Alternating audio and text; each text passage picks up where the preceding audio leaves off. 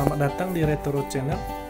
Pada video tutorial kali ini saya akan mencoba menjelaskan mengenai cara membuat akun di aplikasi Zoom Meeting.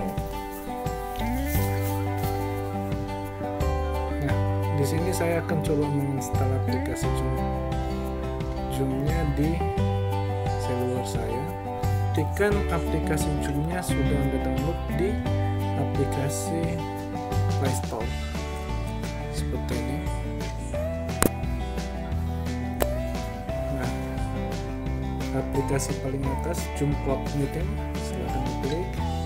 Nah perhatikan sini posisi aplikasi Cloud Meetingnya sudah terinstall di handphone saya. Nah berikut tampilan beranda daripada aplikasi It di seluler atau Anda bisa mengaksesnya langsung juga di di menu icon yang ada di layar handphone Anda. Nah, di sini posisi saya belum memiliki akun It. Nah, maka langkah pertama terlebih dahulu kita harus buat akun kita dengan mengklik tulisan sign up. Oke. Selanjutnya ketikkan alamat email alamat email Anda. Di sini saya menggunakan alamat email anhondokemail.com. First name ini nama awal Anda, nama awal. Misalkan saya buat di sini and last name-nya Andro kecentang I agree to the terms of service. Nah jika sudah klik tulisan next di sudut kanan paling atas. Nah seperti ini. Nah jika sudah di sini Anda diberikan sebuah notifikasi atau pemberitahuan untuk inbox email Anda di sana ada dikirim link verifikasi account Zoom It-nya.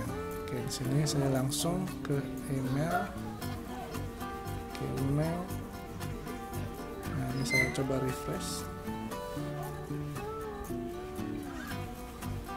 Oke, belum masuk ya. Oke, jika belum kelihatan, Anda bisa juga cek di spam. Siapa tahu pesannya masuk kemarin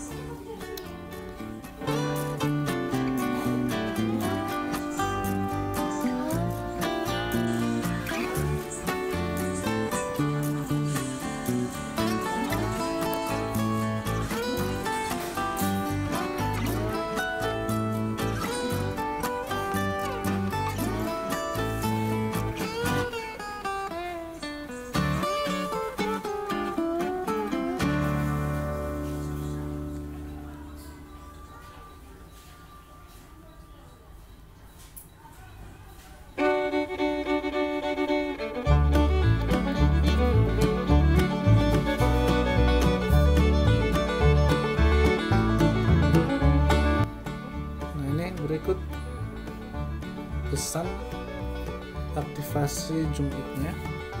Nah, langsung Anda klik tombol aktif account. Maka akan Anda, anda akan diarahkan kemari untuk memasukkan sebuah password. Oke, di sini saya akan buat passwordnya.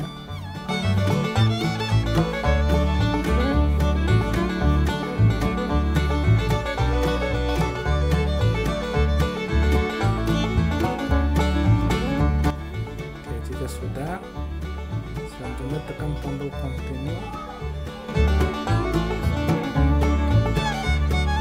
oke jika ada modul seperti ini invite klik name domainnya dikosongin aja.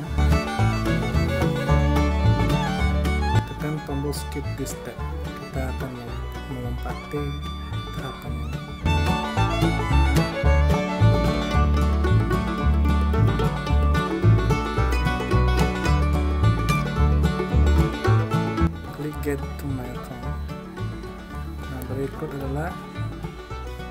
tampilan account Zoom It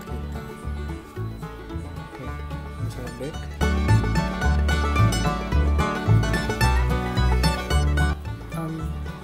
um, tuh. passwordnya tadi oke.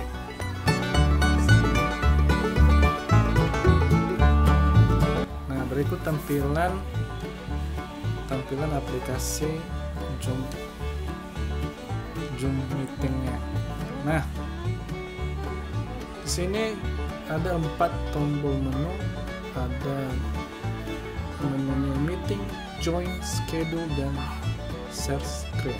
Nah di sini posisinya jika kita tekan new meeting berarti kita sebagai pembicara. Di sini langkah selanjutnya adalah kita klik tombol join nah pada tekstur berikut silahkan kamu ketik eh, ID meeting yang akan anda ikuti.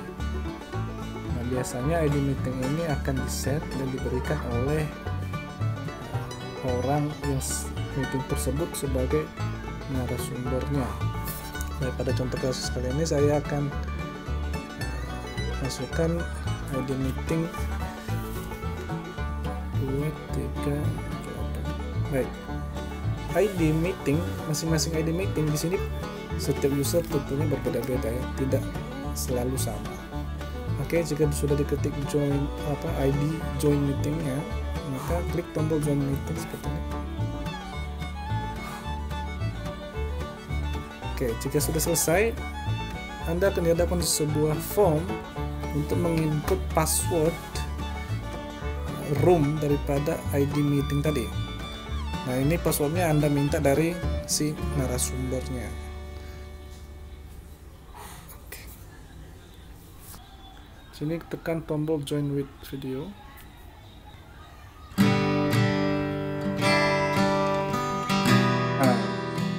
sekarang otomatis kita sudah join dalam sebuah meeting oke sekian dan terima kasih tutorial daripada cara membuat akun baru di aplikasi meeting Zoom terima kasih